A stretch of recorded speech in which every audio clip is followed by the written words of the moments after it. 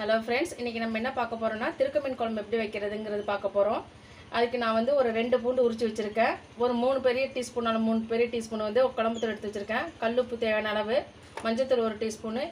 இது ஒரு அரை பூண்டு வந்து உரிச்சு வச்சுருக்கேன். அது தட்டி போடுறதுக்கு. இந்த மிளகு தேங்காயில் போட்டு அரைக்கிறதுக்கு ஒரு மூடி தேங்காய் திருவி வச்சுருக்கேன். ஒரு பெரிய நெல்லிக்காய் சைஸ் அளவு புளி கரைச்சி வச்சுருக்கேன். எடுத்து வச்சுருக்கேன். இப்போ எல்லாத்தையும் வாங்க அரைச்சிட்டு இல்லை கரைச்சிட்டு எப்படிங்கிறத பார்ப்போம்.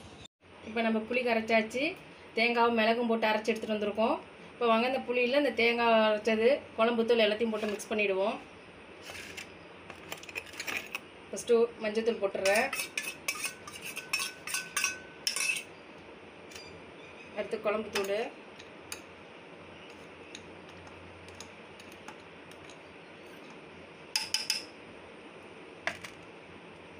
தேவையான அளவு உப்பு.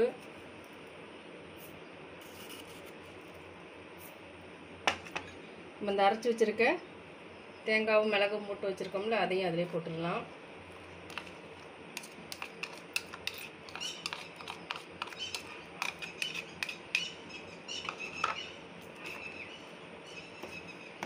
இது எல்லாத்தையும் மிக்ஸ் பண்ணி விட்டுட்டு நம்ம குழம்பு தாளிச்சிட வேண்டியது தான் இதுக்கு வந்து வெந்தயம் போட்டு நான் தாளிக்க போகிறேன் சிலர் வந்து இதுக்கு வந்து வெங்காய வடகம் போட்டு தாளிப்பாங்க.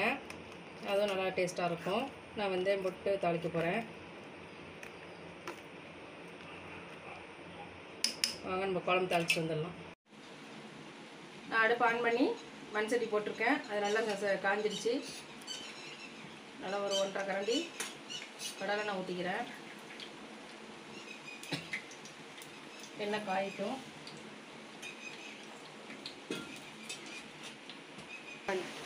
எண்ணெய் லைட்டாக காஞ்சி வருது வெந்தயம் போடுறேன்.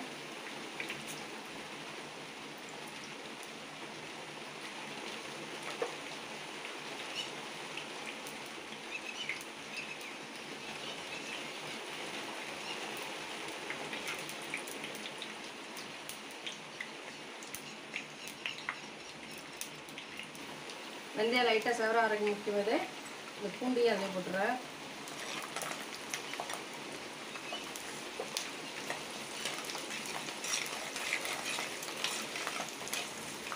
பூண்டு நல்லா செவந்து வரணும்.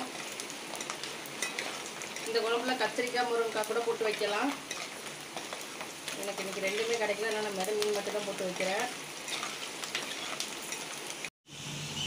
பூண்டு நல்லா இந்தளவு செவந்து வந்தோன்னே நம்ம கரைச்சி வச்சுருக்க புளி இந்த க கலவையை எடுத்து அதில் ஊற்றிடுவோம்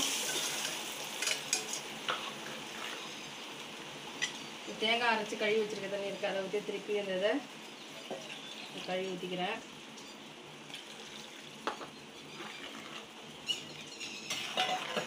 இந்த குழம்பு நல்லா ஒரு கொதி வந்துடட்டும். கொதிச்சோட நம்ம மீன் போட்டுப்போம். அதுக்கு மூடி வச்சுருவோம். அதுக்காட்டி இந்த பூண்டையும் நான் நசுக்கி வச்சுக்க போகிறேன்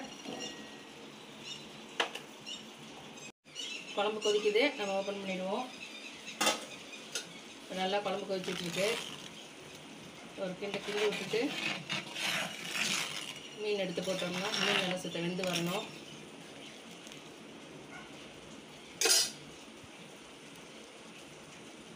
இந்த மீன் ரொம்ப உடம்புக்கு நல்லது. சளி இருமல் உடம்பு வலி இருக்கிறவங்க கூட இது நல்லா இந்த மீன் கிடைக்கிற டயத்தில் வாங்கி குழம்பு வச்சு சாப்பிட்டா உடம்பு ரொம்ப நல்லது. கர்ப்பிணி பெண்களுக்கு குழந்தை பெற்றவங்களுக்குலாம் இதை வந்து பத்திய குழம்பாக வச்சு கொடுப்பாங்க. இந்த மீனில் அவ்வளோ ஒரு சத்து இருக்குது இது ரொம்ப முள்ளும் இருக்காது. சின்ன பிள்ளைங்க மாவுண்டு எல்லாருமே சாப்பிட்லாம். தானாகவே சாப்பிட்லாம். முள்ளே இருக்காது இந்த மீனில் ரொம்ப. இந்த நடுப்புற தெரியுது பிறகு அந்த ஒரு இதுதான் முள் இருக்கும் அதில். வேறு முள்ளே இருக்காது.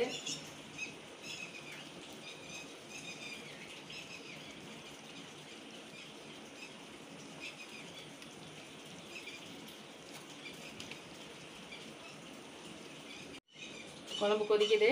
திறந்து பார்த்துருவோம். குழம்பு நல்லா கொதிச்சிட்டு இருக்கு ஒரு கிண்டை கிண்டி விட்டுட்டு நம்ம நசுக்கி வச்சுருக்க பூண்டை போட்டோம்னா அந்த பூண்டு அதில் வெந்து வரத்துக்கும் மீன் வெந்து வரத்துக்கும் கரெக்டாக இருக்கும்.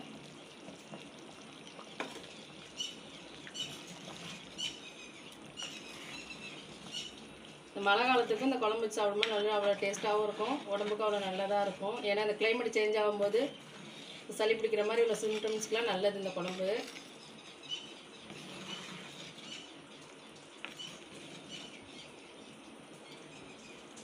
மூடி வச்சுருவோம். குழம்பு நல்லா கொதிச்சு